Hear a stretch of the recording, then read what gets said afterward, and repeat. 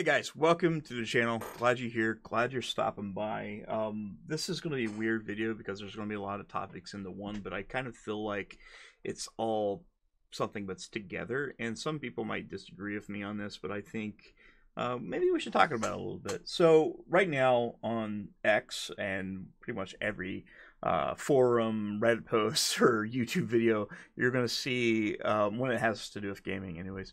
You're going to see people really pissed off when it comes to the state of the Silent Hill 2 remake. Now, Silent Hill 2 is probably one of the greatest survival horror games ever made, uh, bar none. It's a great game. It's a great game. And the bad thing is, I didn't play it until about four years ago, and the version I played was not the best version to play, and that was the Xbox 360 uh, HD collection, which I played number two and three. But I played Silent Hill 1 back when I was in high school. I'm almost 40. I'm 37 years old, so it's been a long time. And I remember playing the original Silent Hill, and it scared the shit out of me. I loved it. Um, it was genuinely way different than, say, Resident Evil or something like that, which Silent Hill originally was a answer to Capcom's Resident Evil. And I think it did really good. I think the Silent Hill, like the first three games, um, you know, after I've played them, I think they do a better job at psychological horror and unease and the Resident Evil games. Resident Evil games does have like a lot of situations where like you run out of bullets, you got to run from the enemies. There's some jump scares here and there, and some truly gruesome enemies. But Silent Hill had some really gruesome enemies uh, for the most part. It's like all all of it was being like manifested from the person, like the main person you're controlling. Um, coming from their head pretty much so that's where pyramid head comes in and uh, for some odd reason, like every like Silent Hill movie comes out, where all Silent Hill merchandise has Pyramid Head, which basically Pyramid was a manifestation of the main character of Silent Hill 2, and I don't know why they keep using that, but I I don't know. Maybe I'm wrong. Maybe I'm wrong. I think I think uh, Silent Hill did a really good job with uh, psychological horror. But anyways, a lot of people are pissed off right now with the Silent Hill 2 remake. They've been pissed off about it since the very first Silent Hill uh, transmission, which was about a year ago when they shown off Silent Hill 2 remake for the first time. A lot of people hated the way the characters looked. They hated the combat. They hated everything about it. And um, I think things changed. I kind of looked at it the first time. I was like, ah, maybe. And you know, I watched the combat trailer. I was like, yeah, okay. Then I watched the newest trailer. I'm I'm actually fine with it. I, am perfectly fine with it. I think the big discourse right now is there's a few things. A lot of people are pissed off that um, the character changes, especially like they're trying to take a look at the character models and they're like DEI, DEI, DEI, which you know that is the case. Um, I think there's a uh, a consulting company. I think it was called High Impact that's working with um, uh, Konami with this, which they're another like Sweet Baby style um, company. Which I, honestly I don't care. I, I I do like my video games, uh, but I don't want my video games and my movies to preach at me. I want to be able to escape um, the whole uh, zeitgeist when it comes to culture wars and the whole political movement. I hate it. I really don't like it. Like I just want to enjoy my content and be a gamer, and I hate it. I hate it. I hate it so bad. I, I think it's between that and the uh, console Soul War guys, like the uh, Dreamcast guy. Um, you know, those people's like, oh, the PlayStation's better. We got Silent Hill remake, which is eventually going to be multi-platform which I don't really care, but I think that stuff is cringe. All the thing I say is play the game and enjoy the game. But there is a case where a lot of these companies are pushing DEI on stuff that doesn't need to be done. And like I said, you might disagree with me. You're probably going to call me a bigot, and that's okay too. But I really don't care.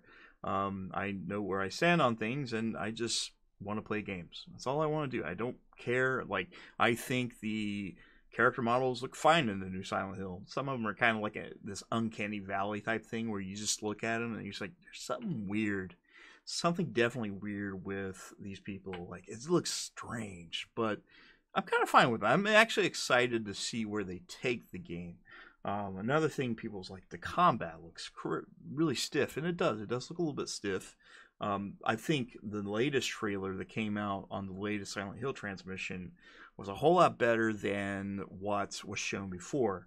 Um, it seems like they cleaned it up a little bit. They actually cleaned up a little bit um, too with some of the other characters, but they did show off uh, some of the other characters, and I forget their names. I'm sorry. I'm not like the Silent Hill expert. I probably shouldn't be even talking about it, but as somebody that played the original game on the the worst possible version to play it on, um, I still feel like I have some input on it because um, I love horror games, and Silent Hill was part of my thing. I actually have a Silent Hill tattoo, big, big fat arm, big old fatty arm tattoo, and um, you know I like the movie. I, I, hated the second movie, and I'm actually excited for the uh, new movie because the same guy that directed the first movie is directing the new movie, and we can forget the piece of shit the movie Revelations was.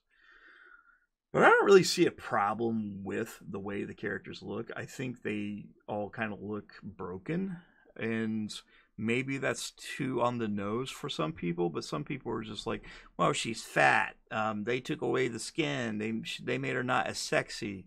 Um, and I'm not going to go in and dive into the G4 thing when you're saying, "I'm sorry that video ca- character's not easy on the eyes for you, or they're not bangable as." Uh, the chick from Stellar Blade. Not not going there. I'm just saying it doesn't like that game. There's not really a big thing on sex appeal except for like maybe one of the characters um, that's supposed to be the dude's kind of looks like her wife. God, I wish I remember their names. This is fucking stupid. Uh, I'm gonna get annihilated. I'm gonna get annihilated here. But I think it looks fine. I think it looks fine. I think um, Bloober Team, like I think a lot of people have a little bit of reservations on Bloober Team due to their past work, which I've played all their games except for Observer and Layers of Fear 2.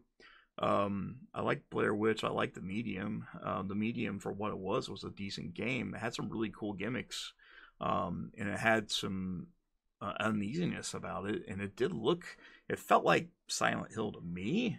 Uh, but again, like I said, I'm not the expert. I was more of a Resident Evil guy than I was Silent Hill, but I did play the first game, and I recently, four years ago, played two and three.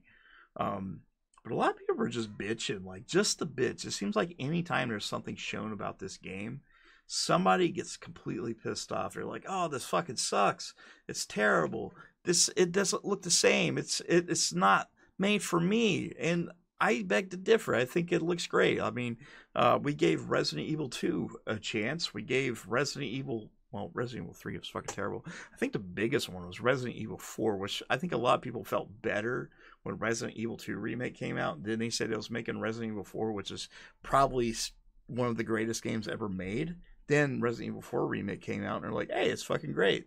Um, but I think a lot of people do have reservations on some of their favorite games being remade, and I guess that's no problem. But I also think that's gatekeeping, which is kind of stupid. It's really stupid to me. Like, um, you know, back in the day, like I used to be like that when it came to my video games because I was like, I was an Xbox guy, and I still am, but I play on all the systems, like every system. I play games on all the systems because I look at them like I'm not really caring about which you know multi-billion dollar companies dick is bigger than the other. I don't care about that. Like i just want to play a good video game. I am tired of the politics being pushed into video games. I am tired of this switch to live service video games. I do want you know good single player games that doesn't have microtransactions and has a decent story that i can play through and remember 10 years from now. And i think that's what a lot of people are thinking. Like people still remember the first time they played Silent Hill 2. Um, people remember the first time they played Resident Evil. I remember to this day, I played Resident Evil 2 when it came out when I was in middle school, and it scared the shit out of me. I could not play that game until I was in high school. And then I loved them. I love them. Like I was scared to death of those games. And Silent Hill, the original Silent Hill, when I played it, I had nightmares for weeks. Um, it's a little outdated now, but just the themes and the unease of the games themselves, like um, it really does mess with you on a psychological level. And that's kind of how I hope that Bloober Team does with the Silent Hill 2 remake because they are actually really good at psychological horror, like uh, playing Blair Witch, Layers of Fear, uh, The Medium. They, I think they do a good job in that, and I do think a lot of people are you know, they have reservations against Konami, which let's face it, Konami is um, a shitty company that basically turned their IPs into pachinko machines, um, which is stupid. It's fucking stupid. I hated it. They ruined Metal Gear by making Metal Gear survive, and I think a lot of people were pissed off. Um, especially like I think a lot of people were pissed off about um, Silent Hill, um, the long short message. Uh, I liked it. I, I was fine with it. I'm me as somebody with like a mental health advocate. I thought it was pretty good. I think, um, you know, I think it was too on the nose. Um, it wasn't perfect by any means, but as for what it was, it was solid. Um, I think a lot of people are taking offense to that, but just they just remember the old games and they don't want to see change.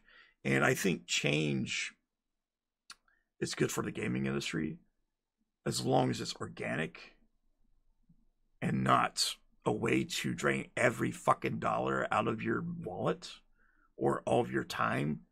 I don't want video games to be a chore like the live service games. And you know, Konami could have did that. They could be like, hey, we're going to turn Silent Hill 2 into a live service looter shooter.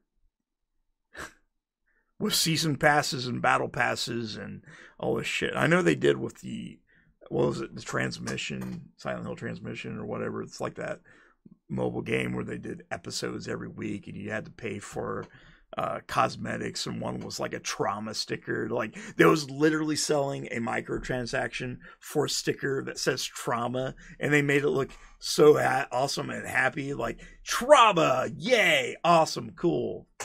I just say fuck you. Please go away. Um I, i'm kind of hoping they will take the transmission game itself and compile it into maybe an actual standalone thing because I do want to see it. Maybe sell it for like twenty bucks, uh, give or take, just to see how it plays out. I'd probably buy it at that case, but a lot of people were kind of pissed off because it's really not as good as we thought. We was thinking like Silent Hill's coming back, Konami's changing their ways. There's going to be a new Konami. There's going to be a great Silent Hill uh, game, and they they are pushing really heavy with the Silent Hill stuff all kinds of products coming out. They got the products, the games, the movies, the soundtracks, uh, the dildos. They have it all. Um, but it's crazy. It's crazy. So, so, many people are pissed off about the uh, about the trailers. Um, I here's what I say. It's like just wait until the game comes out, then play the game, or you know watch the game. I know a lot of people like, especially the ones that are like. Uh, advocating DEI stuff, these people aren't really playing the video games to begin with. They just want to push some kind of narrative out there uh, onto everybody, which I think that's stupid. Like I said, I have no problem with any of those things, like any of the groups and stuff. I just want my stuff. I just want stuff that I like, like video games. It's supposed to be a way to escape. It's not meant to be a way to be preached at. Like I, that's how I see it. I, I want to play a game because I love video games. I don't want to play a game to make it feel like a chore.